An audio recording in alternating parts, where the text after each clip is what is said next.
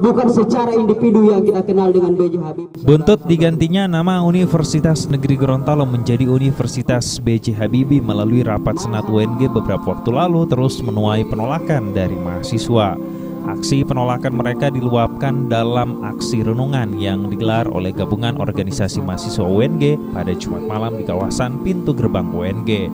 Dengan menyalakan puluhan lilin, mahasiswa membacakan puisi tentang rasa duka mereka karena nama Universitas Negeri Gorontalo sudah tidak akan ada lagi dan berganti nama menjadi B.J. Habibie. Hingga kelas penuh kebencian dan kompetisi tanpa balas kasihan. Tanpa balas kasihan saudaraku, Universitas yang kita cintai. Mahasiswa sendiri beralasan pergantian nama UNG menjadi Universitas B.J. Habibie dicederai histori atau sejarah pembentukan UNG.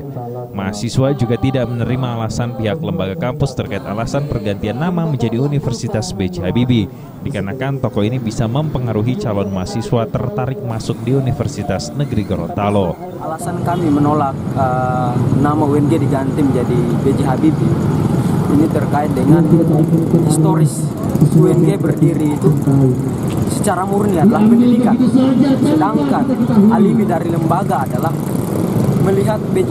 Habibie sebagai seorang teknorat yang bisa mempengaruhi orang untuk masuk di universitas ini dengan bergantinya nama Universitas B.J. Habibie sehingga kami menolak dengan keras pergantian nama. Menurut mahasiswa, aksi ini adalah langkah awal penolakan terhadap pergantian nama tersebut. Fazil Hasan Mimosa TV mewartakan.